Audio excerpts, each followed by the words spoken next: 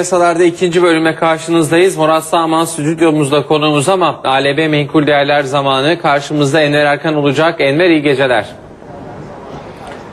İyi geceler Barış. Petrolü konuşarak başlayalım dilersen bu akşam. Ee, hani öne çıkan hangi emtia ise, öne çıkan hangi enstrümansa belki ondan bahsetmek daha doğru olacak öncelikli olarak. Bugün hem Brent'te hem Amerikan tipi ham petrolde yükseliş var. Brent biraz daha fazla yukarıda. O biraz bizi endişelendiriyor. O cephedeki tansiyon sanıyorum Musul'dan kaynaklanıyor. Nasıl yorumlarsın petrol fiyatı cephesini? Şimdi petrol cephesinde tabii ki Irak'taki gelişmeler fiyatlanıyor. Özellikle Brent siyasi olaylarla biraz daha ilişkili olduğu için Brent'teki hareketin daha sert olduğunu görüyoruz. Brent'te özellikle önemli olan seviyeler 110 ve 112 seviyeleriydi ve 112 dolar üzerinde kaldığı sürece Brent'te de yukarıda 114 ve 116 dolar seviyelerinin hedeflenebileceğini görüyoruz. Diğer yandan ham petrol tarafına baktığımızda da orada 105 seviyesine yakınlaştıkça yukarı hareketler kısıtlı kalıyordu. Fakat o eşik kırıldı. 105 seviyesine artık kendine destek ve orada da 106-20'ye doğru bir fiyatlama olduğunu görüyoruz.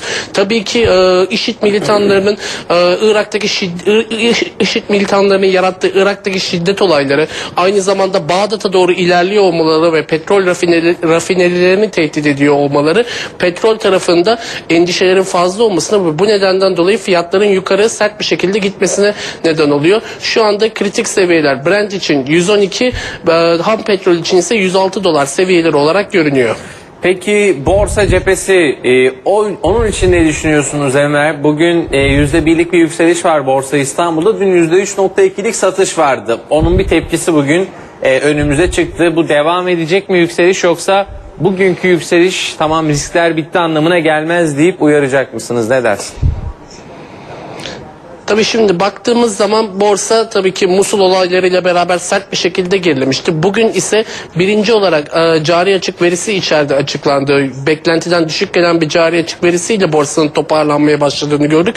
İlerleyen saatlerde ise konsolosluk e, çalışanlarının serbest bırakılabileceği ne dair haberler bu e, piyasalarda olumlu bir seyir olmasına neden oldu. Burada o dolar TL paritesi gevşedi. İçeride tahvil faizleri gevşedi. Borsada yukarı yönlü bir hareket oldu fakat seans kapanmaya yakın ve seans kapandıktan sonra rehinelerin serbest bırakıldıkları bilgisinin doğru olmadığı yönde açıklamalar nedeniyle borsada bu yükselişin devamı gelmeyebilir. Yeniden negatif bir seyir içerisine girebiliriz. 80 bin seviyesi yukarı yönlü aşılamadı.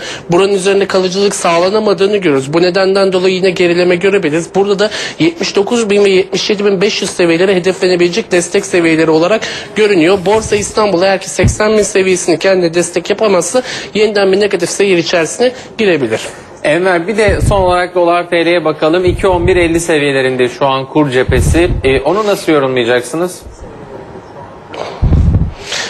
Dolar TL gün içerisinde konsolosluktaki rehinelerin serbest bırak- bırakılabileceği haberleriyle beraber liranın toparlanmasına bağlı olarak aşağı yönlü hareket göstermişti.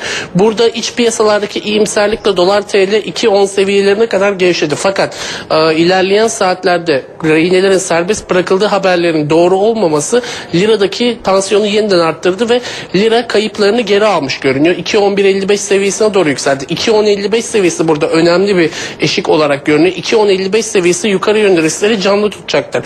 Burada da dolar TL paritesini hedefleyebileceği direnç seviyesi 2.12.50 olarak görünüyor. Eğer ki 2.12.50 seviyesi de aşılırsa yukarıda 2.14 seviyesinin dolar TL'de hedeflenebileceğini görüyoruz. Dolar TL'de gevşemelerin görülebilmesi için 2.10.55 seviyesinin teknik açıdan aşağı yönlü kırılması gerekiyor ve burada da fiyatlanan unsurların Irak'taki gelişmeler olduğunu düşünürsek burada siyasi tansiyon önemli bir unsur olarak dolar TL'de izlenecektir. Enver Erkan bize sana teşekkür ediyoruz. Ağzına sağlık. ALB Meykul Değerlere kolay gelsin diyelim arkadaşlarımıza. Yeniden stüdyoya dönelim. Murat Sağman'la birlikteyiz efendim.